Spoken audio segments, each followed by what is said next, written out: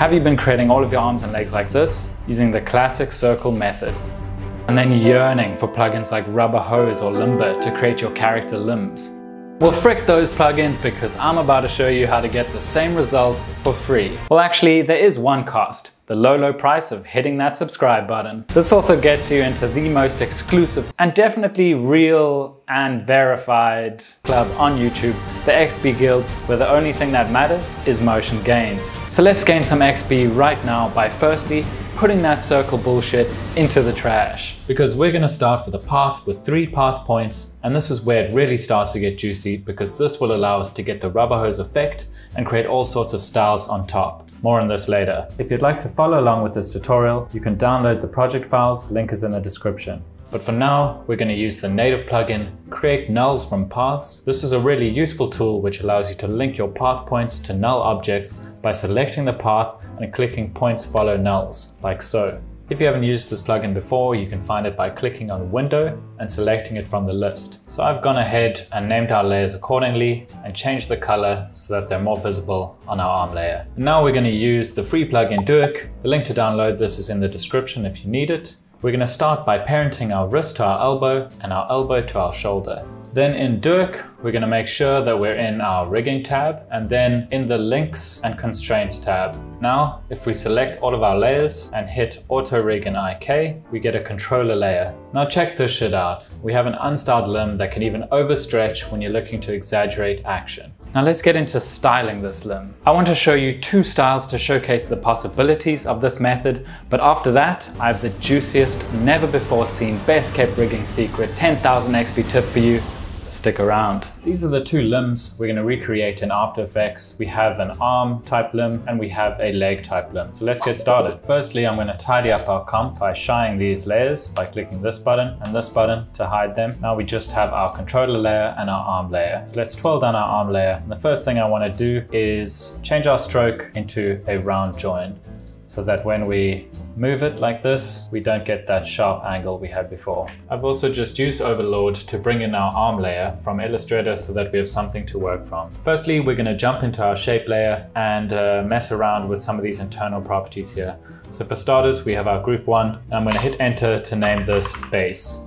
Then what I'm going to do is I'm going to come down to our taper properties because if you look at our reference, we have a bit of a taper going on this arm. So I'm going to twirl that down and I'm going to increase the end length to 100% and I'm going to go to the end width. There at about 65 is good. Now I'm going to duplicate our base layer and I'm going to call this sleeve. Twirl that down and the first thing we're going to do is change our color to this pink. Then we're going to click on sleeve again and we're going to drop in a trim paths. This is going to allow us to trim it so we have something the correct length. Let's change that to a whole number, something like 40 Let's come down and increase our stroke width. 360 will do. Then let's reset our taper and set our end length to about 8% and our end ease to 40%. I'm just going to now increase the end percentage so that our length is the same as our reference. The next thing we're going to do is this little shadow. So let's go to our sleeve let's duplicate that again. I'm going to just twirl down this arrow so that I can bring sleeve 2 under sleeve 1 and rename it to shadow. And once again, we're gonna mess with our trim paths so that it sticks out a bit. Let's change our color so it matches the shadow color. Now let's twirl down our stroke, change our stroke width. Gonna zoom in, make sure it matches as close as possible. Now we're gonna have to mess with that taper easing again. So what I'm gonna do is just adjust this end length so that we get the same kind of curve. Come back up to our end percentage. it looks like it could have a bit more curve. So let's make that 3%. Okay, so now for this extra sleeve color, let's twirl all this stuff down to neaten things up. Let's duplicate our sleeve for this cuff. Let's change our color for starters. Our trim change to a butt cap.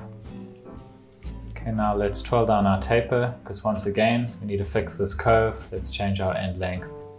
30 looks good. Okay, I'm just going to uh, decrease our start a bit and that messes up our end length, so let's just fix that.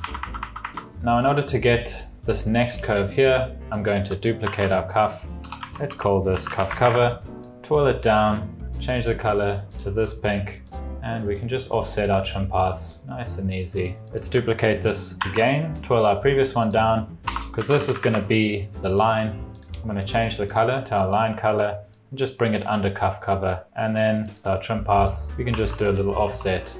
Let's make it minus 26 and I'm just going to drop the stroke width just slightly.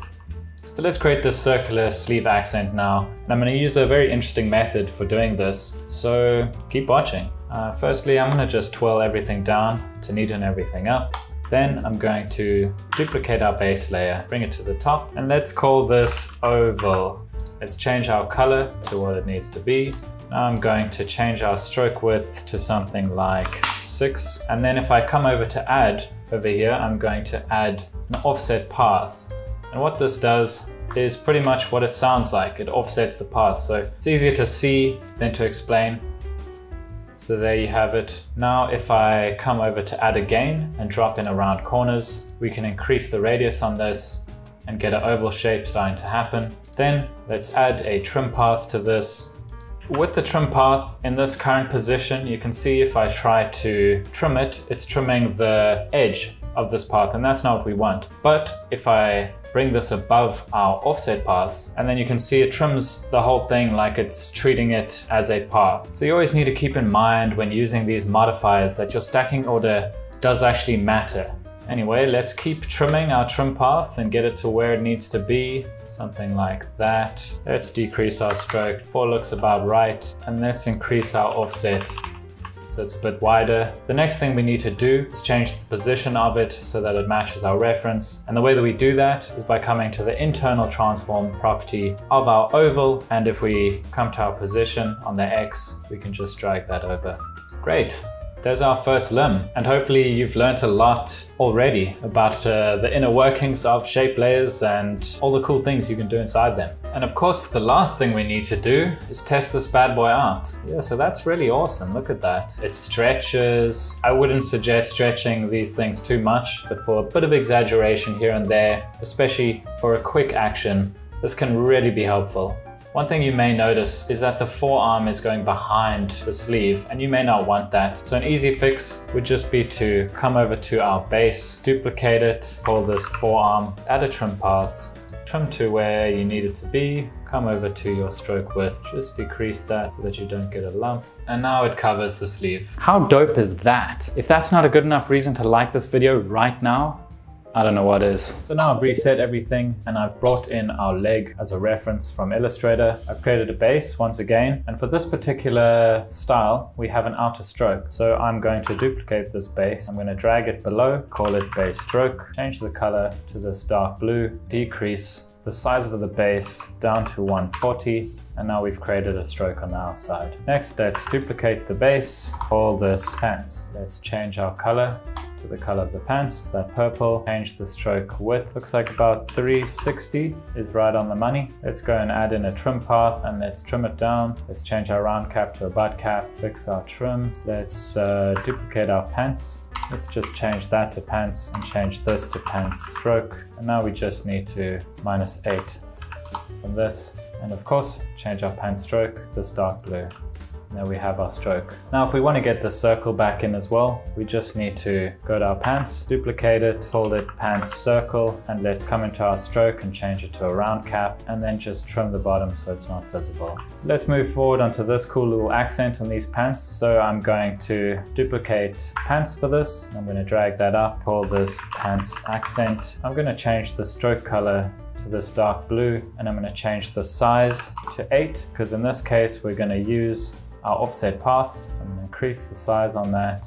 34 is good. And we're gonna add a fill and the fill of course needs to be this pink color. Then we just need to come down to our transform and move our position so that it's in the right place. Let's make that exactly minus 70. Okay, so the next thing we need to create is this kind of pants hole. For starters, let's twirl everything down to keep things tidy. And let's duplicate our pants accent, change our fill color to the dark blue, and let's call it pants I'll fill down our trim paths, change our end and start percentage so that they're matching the size we need. Let's reset our position back to zero and let's come into our offset paths and match the right size. Now what we're gonna do is add a round corners and let's crank that up to about 70. And then I'm just going to mess with our start and end percentage on our trim path. I think that's fine. We don't need to be too anal about it. I am going to bring the offset path size just down one or two clicks. Now we need to make sure that our leg looks like it's actually coming out of the sleeve. So let's duplicate our base, drag it right to the top, and let's call this bottom leg, pull that down, add in a trim paths as usual, and let's just trim the start we also need to change our stroke to a butt cap and then trim to the right point. And that's it. Mm, look at that beautiful limb. Let's close this all down and let's test this bad boy out. That's working exactly how we want it to. The only thing I'm noticing is that this is a bit sharp for me. So I'm just going to come into our leg, go to our pants accent. If I come into our offset paths, we can change the line join to a round join, and that should fix that problem. And it does. And this is great, you know, it's stretching really nicely. This is just a really cool way to create limbs. And you can see we're getting something very similar to what you can achieve with plugins like Rubber Hose and Limber. And you can do it all yourself and just using free plugins and plugins that come native with After Effects. This method obviously requires some understanding of the inner mechanics and tools within shape layers, but once you do, the possibilities really open up. So play around, experiment. In fact, here's some projects and animations I worked on where I used this exact technique to create limbs. Finally, for the secret rigging technique that truly takes your limbs to the next level. Let's start over with our styled limb and unparented nulls. Duplicate our knee null and call it knee bone, then parent the ankle to the knee bone and the knee bone to the thigh. Now select the thigh, knee bone and ankle nulls and once again hit auto rig. Now let's parent the knee null to the knee bone null and we can change the name to knee pose because look at this. IK with knee posing for unlimited posability. Frick yes baby. Doesn't this just make you wanna mwah mwah? Damn, I think that guy likes rigging a little too much. Oh yeah, move that fucking elbow baby. Mm. Join the guild, hit like for 100 XP and subscribe for a million XP.